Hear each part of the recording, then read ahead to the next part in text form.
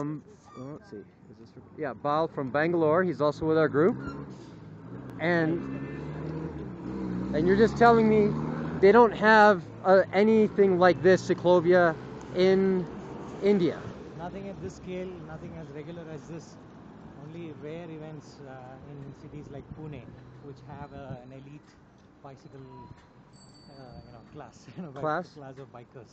Not a culture, but a class of bikers. Yeah, just a small group of elite people who have come to acknowledge the benefits of cycling. So it's Both, very different here. It is very different here. What do you think of ciclovia? Will it work? Uh, will it work in India? Yes. Any thoughts? That's where we are headed. There are enough people now. The critical mass isn't there yet, but it will be. So, Well, that's encouraging. So that's uh, my fellow group colleague here in Ciclovia in Bogota. And we do stop at all the lights, unlike uh, Toronto where we uh, rather like to go through the lights on cycles. I'm going to take a little bit of a break from recording and just enjoy the ride.